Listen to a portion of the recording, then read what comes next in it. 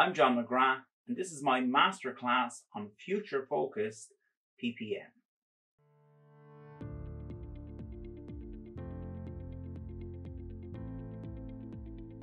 Engineering and construction projects often involve building bigger and better.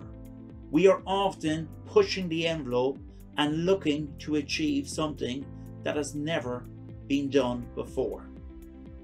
This is especially true in civil infrastructure and mega projects. But we are now at a crossroads in terms of the environment, and within all projects, we should now be considering the environmental impact. Sustainability in project management is a challenging and complicated issue.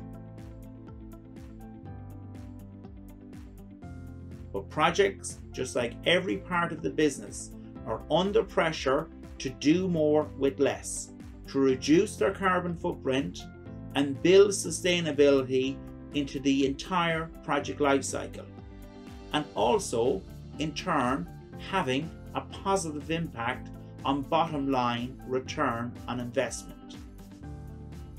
Project teams need to explore ways of reducing emissions, reducing the carbon footprint throughout the project lifecycle project initiatives that can demonstrate responsible global citizenship will lead the way in the future.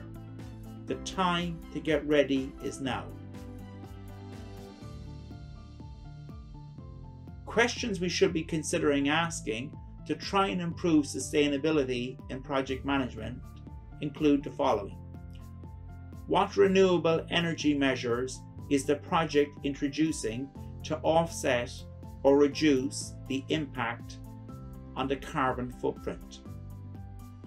Can specified materials be sourced from natural projects or can they be sourced from reused and recycled materials? Was an environmental impact conducted prior to the project initiation? What environmental issues are on the risk register?